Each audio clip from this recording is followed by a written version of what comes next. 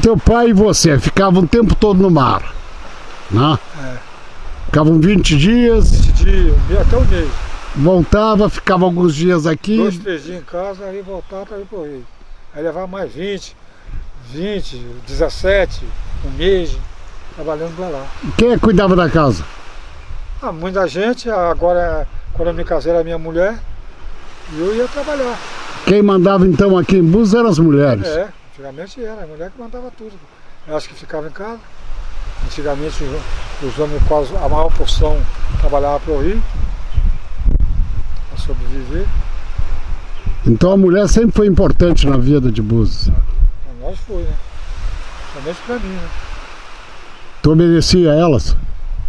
Graças a Deus.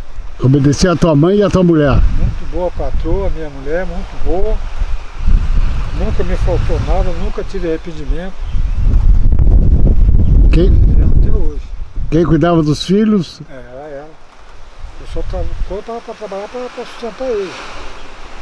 Mas ela que tratava de tudo. Cuidava de tudo aqui. E dentro da sociedade aqui, quem mandava aqui eram as mulheres ou os homens? Aonde? Aqui em Búzios. É, antigamente era mais as mulheres, né? Que a gente não parava aqui, né? A gente não ficava aqui, a gente trabalhava para fora.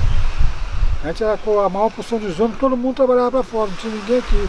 Só aqueles que não trabalhavam, que não, não, não gostavam daquela vida, aí trabalhava aí na roça, na- o resto era só na pesca. Só na pesca. E as mulheres mandavam então. É, a mulher mandava.